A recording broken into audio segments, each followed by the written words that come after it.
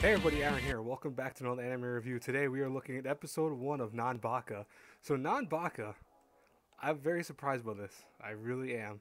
I did not know what I was getting into when I started this, and I knew a little bit about it being the kind of escape prison type thing and something kind of a jokey anime. But honestly, I was cracking up. I was dying watching this first episode. Let's talk about this because I really want to talk about this. So, the main concept of it is that our characters are set in a place called Nanba Prison, which is a impenetrable, unescapable prison.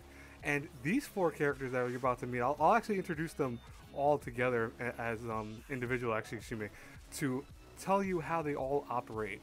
But what's funny about this is that they already are in the process of escaping as the start the episode starts off, and Nanba Prison has some crazy traps. It has mazes, it has pitfalls, it has rolling boulders, it has walls that close in, and you know it has also this guy who you saw from before on the far right. He, I think his name is uh, Hat Hatame, I believe, or something like that.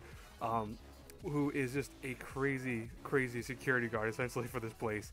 Uh, honestly, he's probably the, the, highest level, the second highest beside the warden. But he honestly was so funny in this.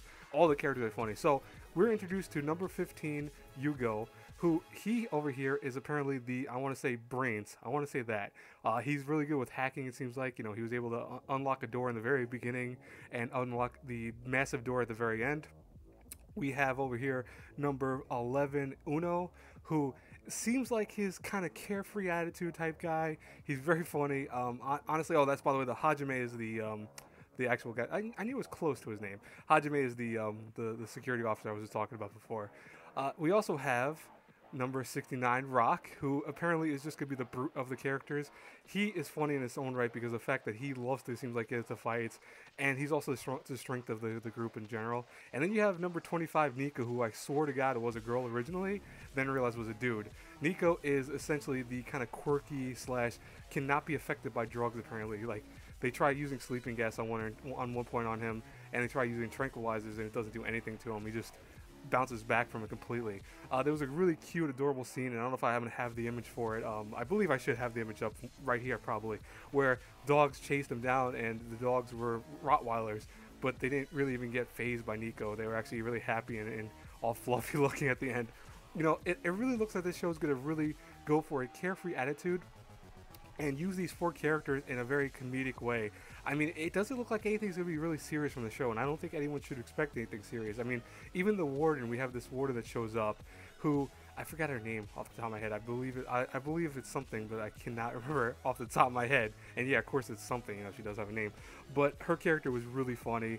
Um, it's just that she looks like she's gonna be the one that's the strict one out of everyone because even Hajime is not tough. He's, he acts like he's tough, but he's the one that's trying to just keep them in control. Because all we see from these four characters is they really are just messing around. They are known to be able to escape from every prison that they've ever been in.